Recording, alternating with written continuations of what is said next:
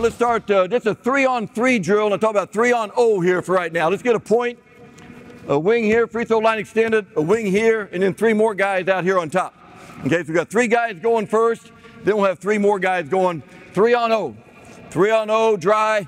What we're talking about right here, if we come down right here, I want you to V cut, V cut right here, pop the catch, throw to the wing.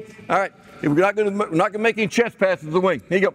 So you come down here, you come down right here. You're going to throw the wing. You got to get it out there, and the ball's got to be to the outside hand. Okay. Then we're going to rub right here. Rub through, rub through, catch and see, triple threat, look, inside dribble, and top the key, top the key right here. There's just no shots right here. No shots. It's going to be a pass, uh, rub, balance the floor, inside dribble, V cut to catch, V cut, outside hand, no chest passes, cut, rub him, rub him, inside dribble, V cut, V cut, V cut to catch. All right, outside hand, good cut, rub him, inside dribble, cut, rub him. All right, let's do let's do that a little bit. Let's see if we can do it every time on the wing. Every time on the wing, you got a V cut to catch.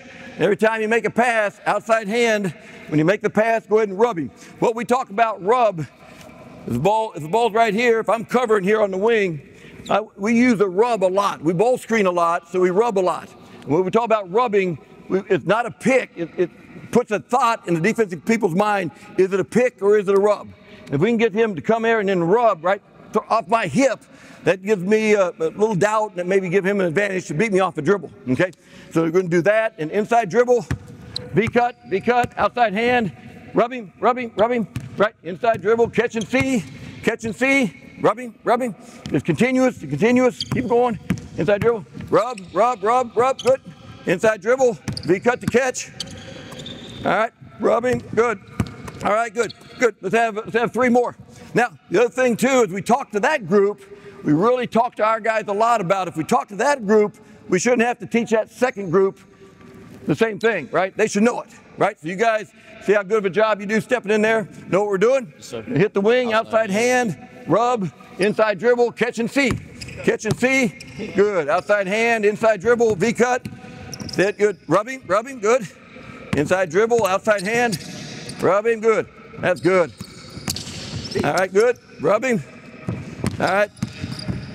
All right, good. Just, just to point out that the importance of when you do things dry, make it game-like. You know, we talk to our guys all the time about act as if you've got the best defender you're going to see all year covering you all the time. You got to work that hard. You know, it's, it's about habits. It's about habits. You can't turn them on and off. You know, and again, we talk about it shouldn't matter what the score is. The only thing that counts is the next possession. Next possession. That last one didn't count. The one before that doesn't affect anything. Learn from those. It's always about the next possession. We can't em- emphasize that enough with our players. You know, we want to, them to think about the next possession. Don't worry about what just happened. Learn from it, but next possession. So you got to do everything, every possession, as, if it's going to be the one that's going to determine if you win or lose. Can't get there, but when the score is, uh, you know, four, four to two, the players just don't understand how important that next possession is. They don't think about being the same as when 70 70 with three seconds to go, right? But you got to get, you know, that's what we're working for. That's what we're working for.